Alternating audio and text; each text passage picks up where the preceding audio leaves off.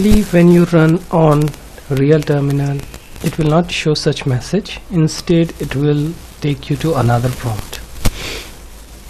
Now second part of this tutorial asks us to check the status of git so if we type git status or git status and press enter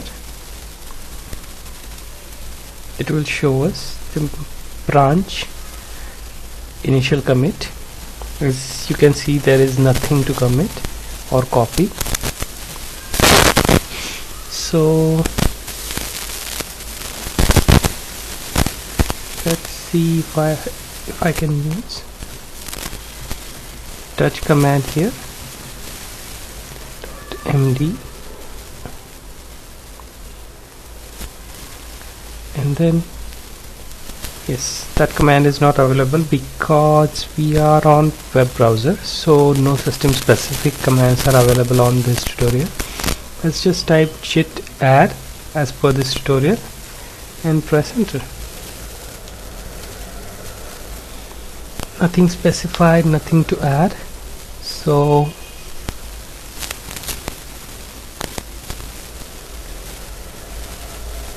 so let's see if we can use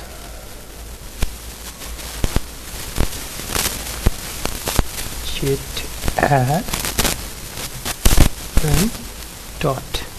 This will include each and every file from our folder to git folder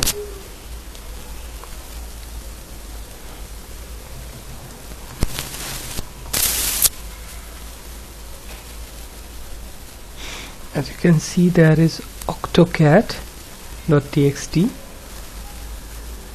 which is not dragged so we have to use git add name of the file.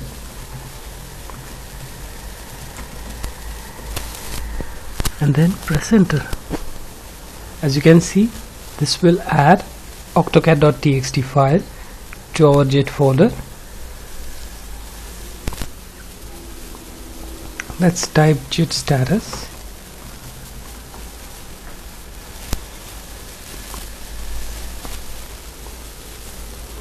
Now this new file is added to our remote location. Now let's commit this change. Dash m and some text like say add cute octocat story. This will basically add the comment to our commit it is good practice to add a comment to each and every commit. You can commit even without comment but it is good to know why this commit was made and for that reason we use comments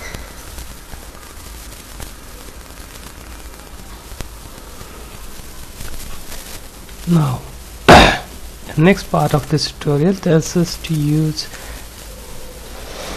git add along with wildcard star txt which will add basically every dot txt file from our local repository or local folder to git repository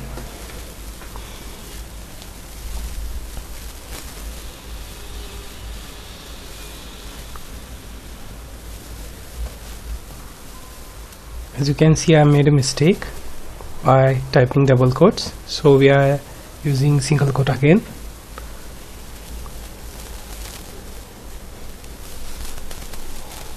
Uh, it is showing me success message. Now let's again make commit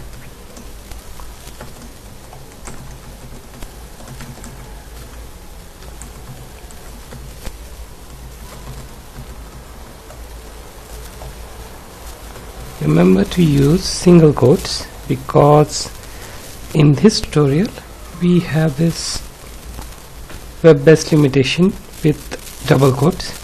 On your own terminal you can use double quotes. As you can see it is showing us all the files that are to be added to git we have this folder octo family added to git folder and all these folders are basically stored on our github account. Now let's check the log.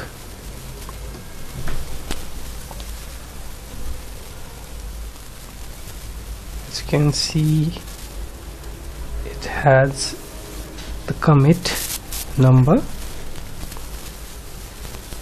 author and date this is handy when you want to track the changes. That is why we have the added comment feature here. Now let's add the remote repository git remote add origin https github.com slash try try dash git try dash underscore git dot so let's just copy this and press enter. Again it shows the success then we have this push you origin master command. This will commit the change to remote repository. So earlier we made the changes to local repository then checked it again again again. Now we want to push these changes to github. So that's why we added url to remote repository. We use git remote add then name of that repository which is origin and then url to the git repository that we created. Now let's try to push these changes. Let's enter and see. As you can see the details are now pushed to the origin which means we have all the files over there now let's see. Now this part tells us to pull remotely. So if we want to pull the git repository locally then we type git pull origin master press enter. Now we have updated now if there are any differences addition changes that are made within the files then we have to check the differences by typing git diff head. This will point us to the recent commit. As you can see it shows tale of two octocats. This is our new change now if you want to check differences within files that are changed at each stage in that case we type git add octofamily octodoc txt.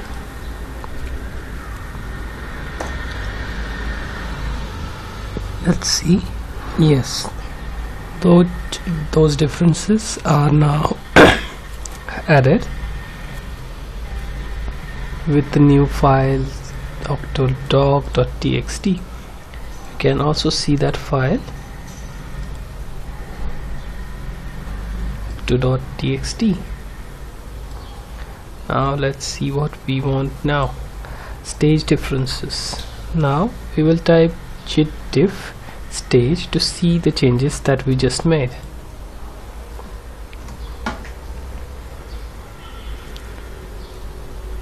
as you can see the new change is related to octo.txt now let's reset any changes that were made locally and to the remote repository. We can reset these changes by typing git reset the name of that file. You need to specify the folder and file name. Just make sure when you do that for your own repository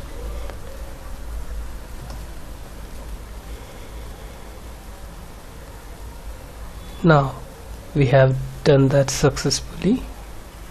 In next part we have to undo these changes that are made to octocat.txt file. So at first let's check octocat txt we type git checkout to dash octocat.txt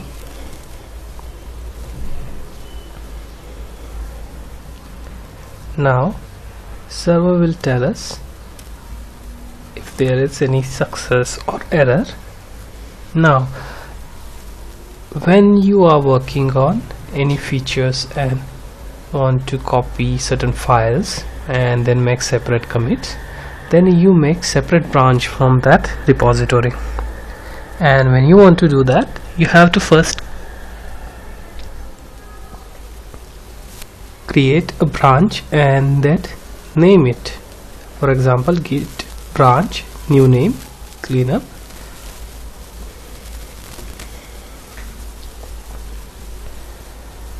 Now if you want to switch from current branch to new then we type git checkout new branch name.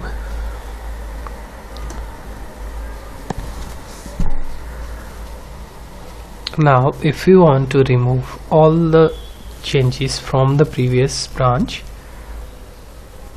Then we type git rm single quote star dot txt single quote. This will remove all the text files from the repository and you will start over all again.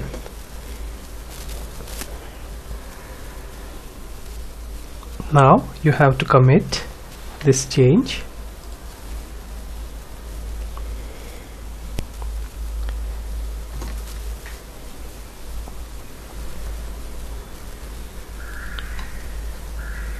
now let's go back to our previous repository and how we can do that. Git checkout master which was our original repository.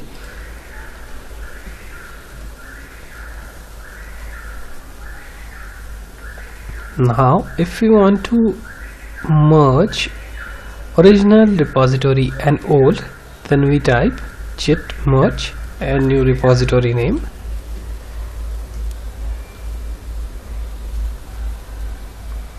as you can see it will be merged with our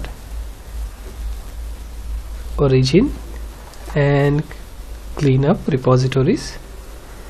Now uh, if you want to remove the repository which was we just made previously with name cleanup we type git branch dash d and then we type name of that repository.